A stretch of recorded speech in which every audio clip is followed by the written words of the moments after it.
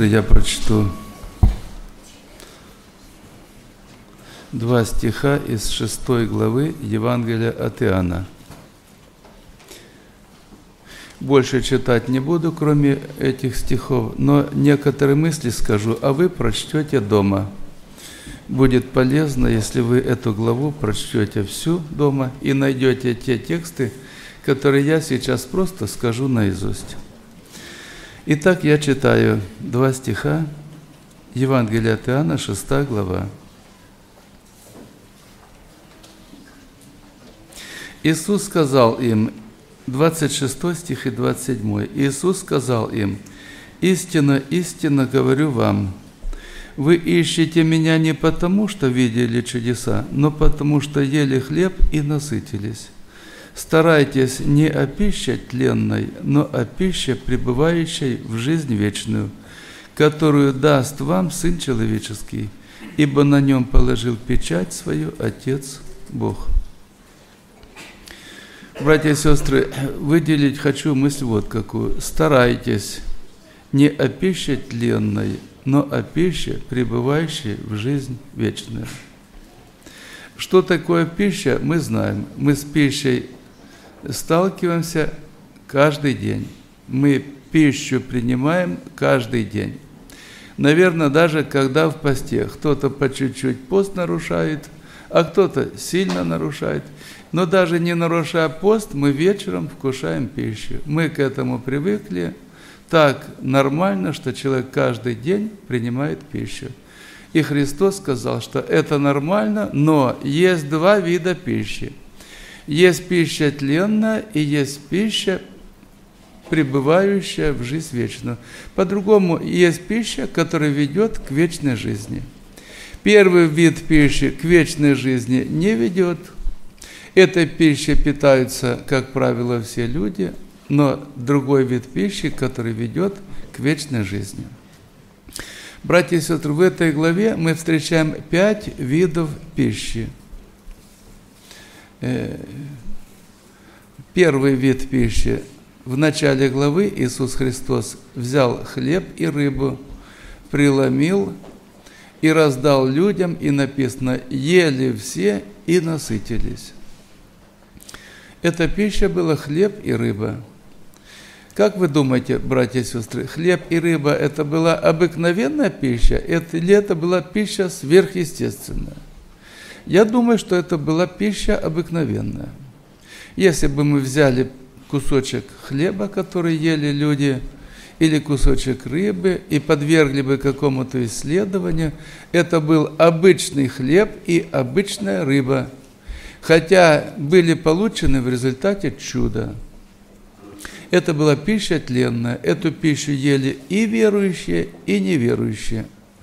И кто-то из людей, который ел эту хлеб и рыбу, в конечном итоге попал в ад и оказался вне спасения. Это первая пища, которую мы встречаем в этой главе. Друзья, вторая пища, люди сказали – Моисей дал нам хлеб с неба, как написано.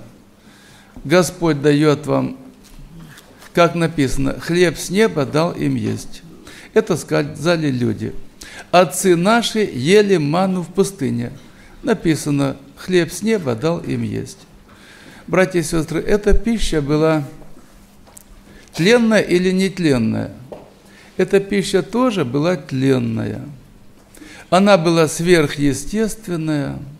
Подвергнуть анализу эту пищу никто не сможет, и никто бы не смог, потом, хотя в ковчеге э, откровения хранилась эта пища какое-то время, манна, сосуд с манной хранился. Тем не менее, друзья, это была тоже пища тленная. Ее ели верующие и неверующие – Хотя это тоже было чудо. И часть людей, которые ели манну с неба, они оказались вне спасения. Ну, слово верующее или неверующее, братья и сестры, я сейчас веду речь об истинной вере, потому что люди, которые шли по пустыне, они каждый день видели Бога в виде огненного столба днем, ночью и в виде облака ночью, э, днем в виде облака, э, днем. Друзья, манна с неба – это тоже был хлеб тленный.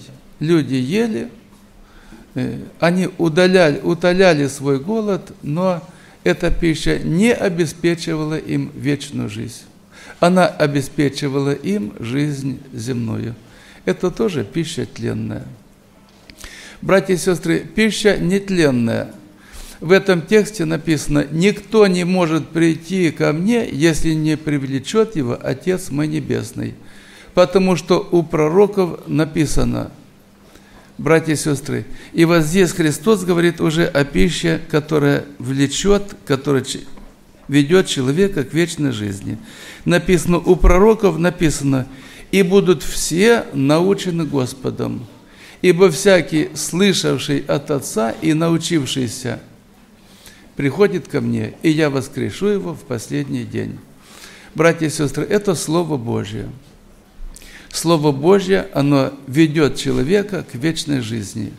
Ибо всякий, слышавший от Отца и научившийся от Меня, приходит ко мне, и я воскрешу его в последний день. Братья и сестры, не все люди могут питаться этой пищей. Вернее, имеют возможность питаться все, но не все этой пищей питаются.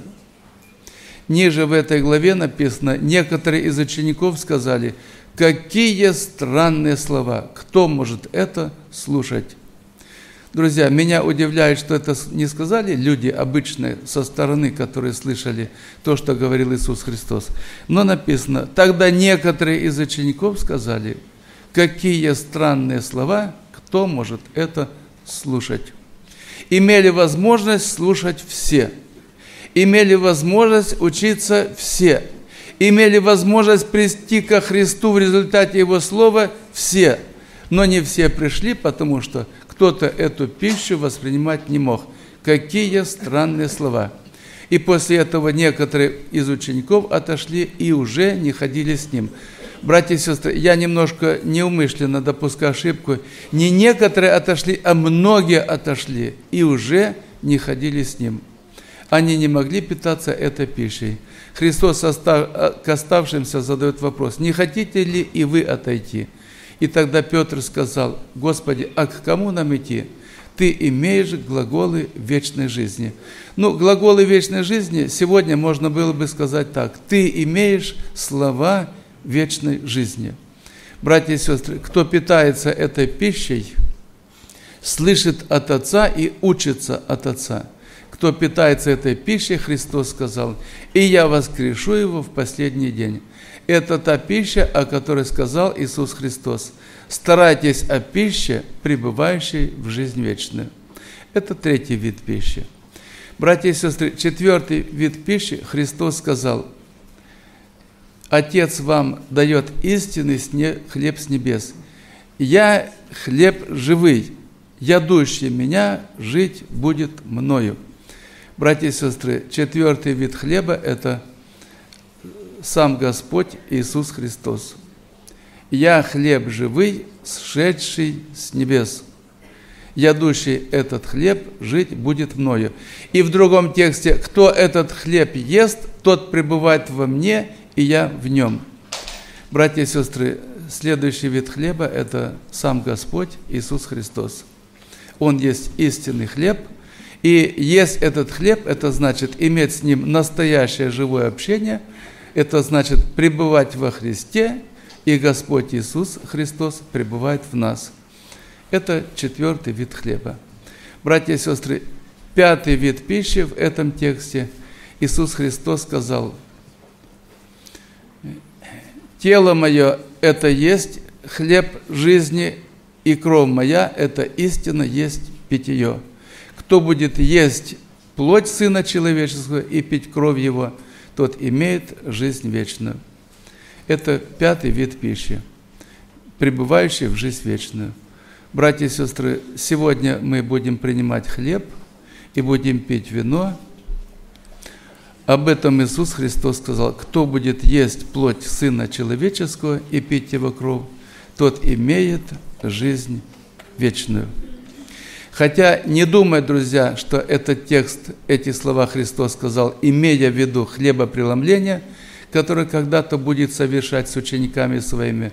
Но истинное участие в хлебопреломлении – это есть свидетельство, что мы живем Иисусом Христом, мы питаемся этим хлебом и пьем Его кровь. Христос сказал, тот будет иметь жизнь вечную.